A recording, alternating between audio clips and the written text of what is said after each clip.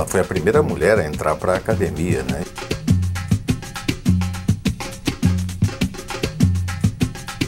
Estava no Estatuto da Academia que era uma coisa para escritores homens. E a entrada da Raquel era a entrada da mulher na literatura brasileira.